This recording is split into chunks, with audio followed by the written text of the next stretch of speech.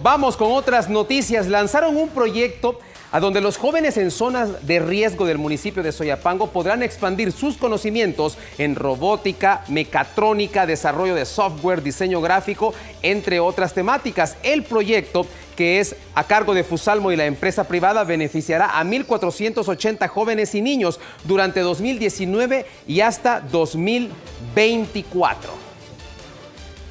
Una